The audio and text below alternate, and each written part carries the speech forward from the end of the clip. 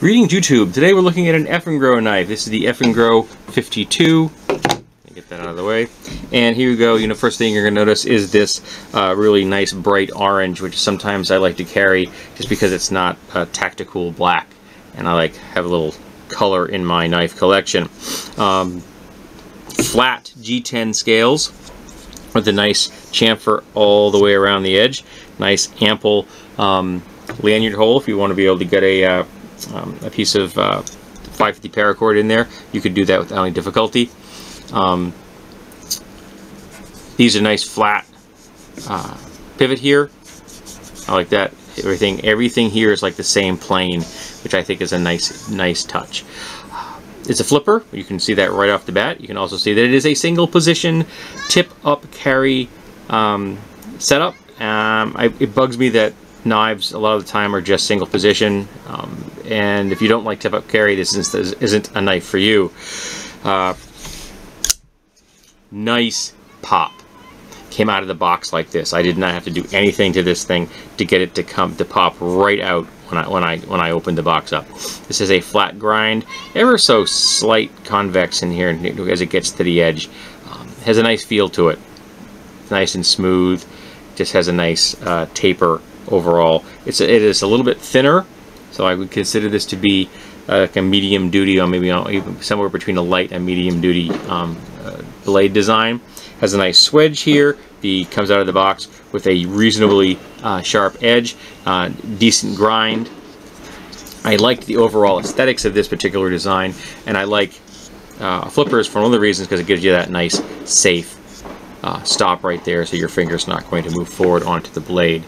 Um, the only thing downside on this was, was as far as the scale are concerned is that while this chamfer here is nice, the edge itself is a little crisp for my taste. Because the, this is nice flat, goes into a nice there, but the edge right there, I think they could have put a little bit of a radius on that, and it would have been, uh, would be a little bit more comfortable.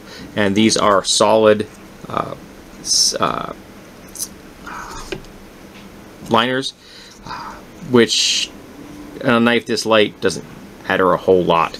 Now, one of the things I like to do before I do a review is carry a knife for a couple of weeks just to get my sense of, you know, how does it ride in the pocket and, you know, how does it deploy, things like that. Unfortunately, I could not carry this particular knife because this clip is so small that that ramp right there is so tiny I cannot get this to slide over a, the pocket of a pair of jeans. It won't go over the seam on the edge of a pair of a, of a jean pocket which was really distressing. Now I can fix that. That's that's not a big issue. That is something I can de most definitely fix but I wanted to show you folks it in its unmodified form so you can see that this may be an issue for you. So if you're looking for a knife that you want to take out of the out of the box and slip into your jeans so you can take it to work, you're probably not going to be able to carry this knife. So I was disappointed in this. This is the first Eafengrow I can say that I was disappointed in because other than that, I mean, like the blade's centered, it's got um, some sculpt, uh, sculpted off, you know, uh, uh, offset pins in here, which are nice. It's got the fully open construction, which means it makes it very easy to keep clean. So it's got some nice features going for it, but um, I can't I can't carry it, which really, in my book, defeats the purpose of having a knife with a belt or a pocket clip. So yeah, that's a that's a big fail in my book. This needs to be longer and have more of an angle to it so that it will ramp over that seam, that rolled seam on a, on a, on a pocket. So yeah, this is the first Eafengrow I can really say that I'm disappointed in.